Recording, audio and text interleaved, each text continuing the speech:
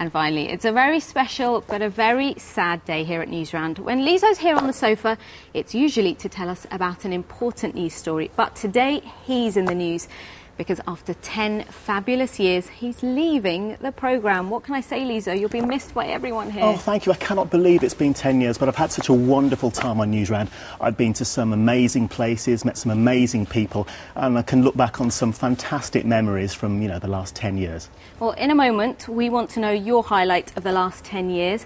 But first, let's have a look back through the last decade, and we've managed to keep this secret from Lizo all day. 10 years. That's longer than some of you have been alive.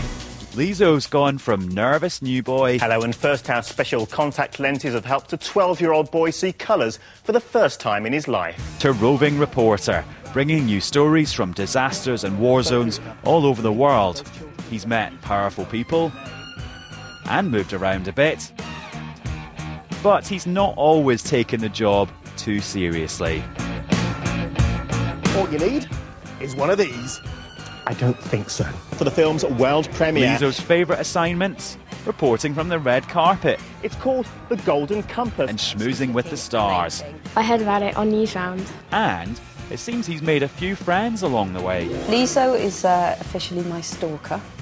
He turns up at everything to do with Harry Potter from the word go hundreds and thousands of kids who tune in every day will be very, very disappointed to see you leave. I'm going to miss him hugely. Lizo is inextricably linked with Harry Potter for me. Look forward to being interviewed by you again in the future and coming up with lots more stupid things to say to you as I normally do when you interview me. I just babble. Lizo, I can't believe that you're leaving before I get back from my little break. I'm really, really going to miss you. Yes, it's gone so quickly, but it's been nearly six years that the three of us have been working on Newsround. It's been fantastic, though, and you've been great. In fact, so good that I think you probably deserve a bit of a round of applause.